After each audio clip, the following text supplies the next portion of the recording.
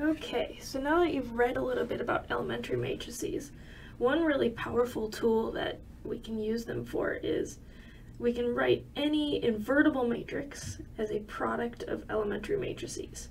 So I want to go through an example and show you how we're going to do this.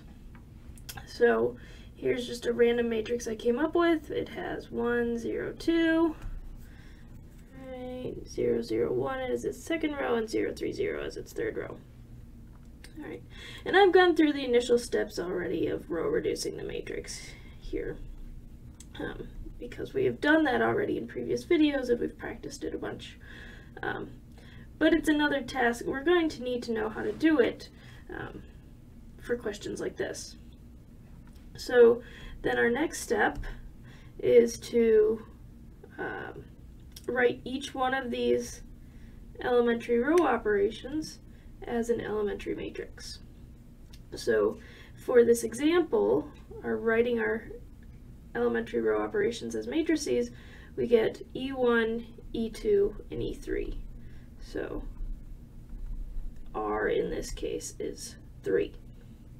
So E1 would be the elementary matrix obtained by swapping the second and third rows of the identity matrix. So the first row remains unchanged, the second row is replaced with the third, and the third row is replaced with the second. All right. E2 then, since we're doing one third of row two, well that's exactly what we do to the identity matrix. 0, 0, 0, 1. All right, and E3 is taking row 1 and subtracting two row 3s. So row 1 was 1, 0, 0, just reference this, this example above.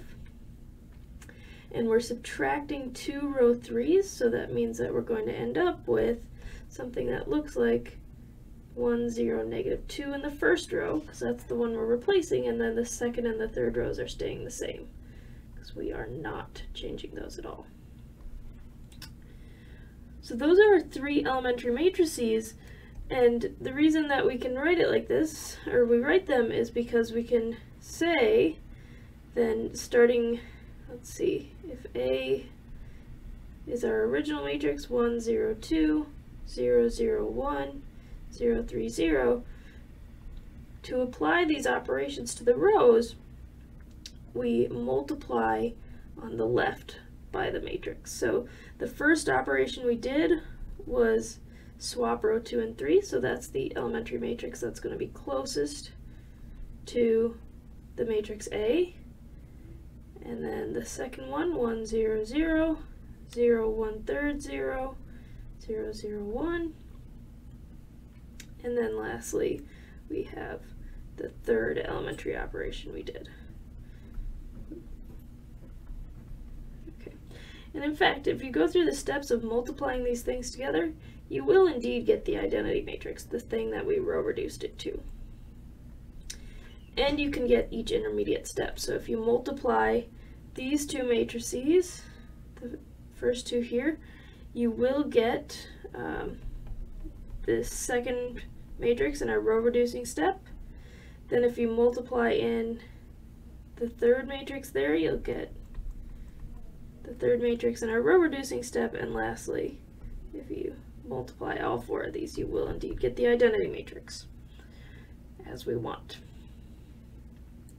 Okay, so the next step in writing A as the product of elementary matrices is we need to find the inverse of each of these elementary matrices. All right, E1, E2, and E3. So E1 was the first one that we multiplied A by.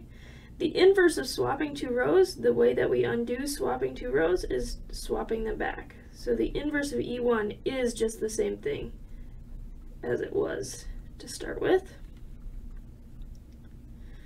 All right, E2 inverse, we multiplied row 2 by a third. So to undo the operation of multiplying by a third, well, you should multiply by 3. Okay. And lastly, E3 was the operation of adding or subtracting 2 of row 3 from row 1. So the opposite of that is adding 2 of row 3 to row 1.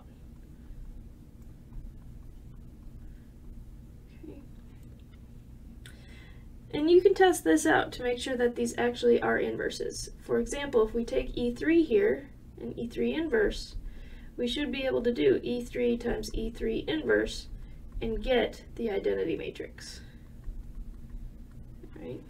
So test that out make sure that works and make sure you believe it. Alright. And then our last step of writing A as a product of elementary matrices, so let's remember that we have E um, uh, 3, E2, E1 times A is the identity matrix. We want to isolate A because we want to write A as a product. So what we're going to do is we're going to first multiply on the left by E3 inverse.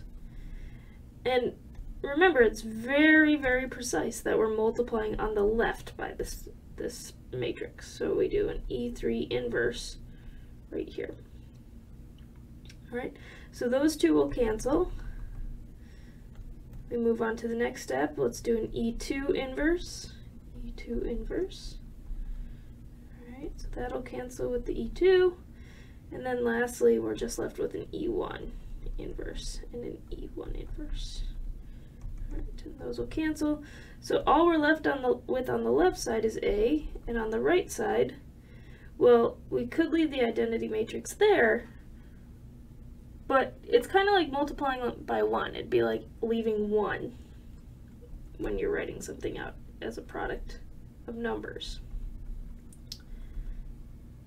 So A is the product of those three elementary matrices in that order. So if we write it out specifically, so E1 inverse was again the swapping of the two rows second and third row. E2 inverse was multiplying the second row by 3. And E3 inverse was adding 2 of row 3 to row 1. Okay, so if you multiply those together, you will indeed get A. Alright, excellent, enjoy, and have a good one.